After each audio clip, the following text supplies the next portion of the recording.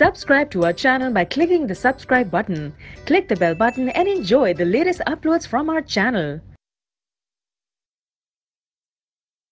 Third condition क्या होगी जिस कंडीशन में हम इक्वेशन ऑफ़ द लाइन को फाइंड आउट कर सकते हैं, और वो कंडीशन है two point form two point form का मतलब क्या हुआ आपको अब टू पासिंग पॉइंट गिवन है यानी स्लोप नहीं गिवन है, बल्कि दो पासिंग पॉइंट गिवन है और आपको क्या निकालना है? इक्वेशन ऑफ़ द लाइन तो किस तरह से फाइंड आउट करेंगे see so the equation of a line passing through point P X one comma Y one and Q X two comma Y two यानी दो पासिंग पॉइंट दिए हुए for example the line L इसकी equation आपको निकालनी है। और दो पासिंग पॉइंट क्या है? P X one comma Y one and Q X two comma Y two तो अब इस केस में इक्वेशन ऑफ़ द लाइन क्या हो जाएगी? जो कि सिंपल है student see y minus Y one equal to Y two minus Y one upon X two minus X one multiplied by X minus X one तो यानी जो हमने पॉइंट स्लोप फॉर्म बताई थी, उसी के अकॉर्डिंग आप देख सकते हैं, ये तो वही है।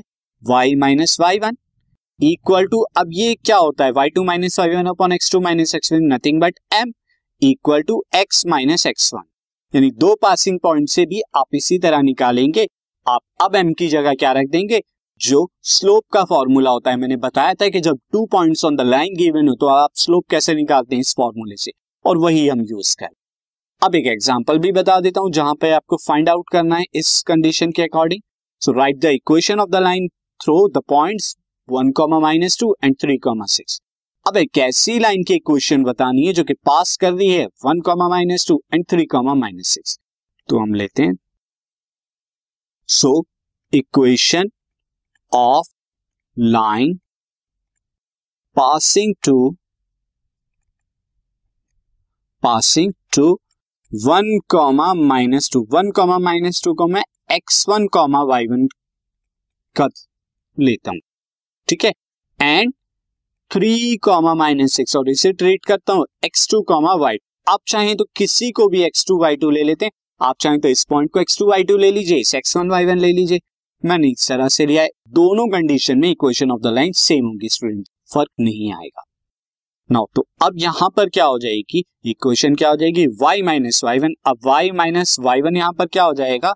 माइनस टू यानी y minus two bracket close equal to अब स्लोप यानी y to minus Y one Y two कितना है? सिक्स माइनस वाई वन यानी minus two upon X two minus X one यानी कि three minus one then x minus X one जो कि one है हमारा। आप थोड़ा इसे सॉल्व कर दीजिए you will get y plus two equal to six minus minus plus two तो six plus two is eight and three minus one is two so eight upon two X minus one this is equal to y plus two equal to four X minus one तो ये आपकी क्या है required equation है, आपकी line की।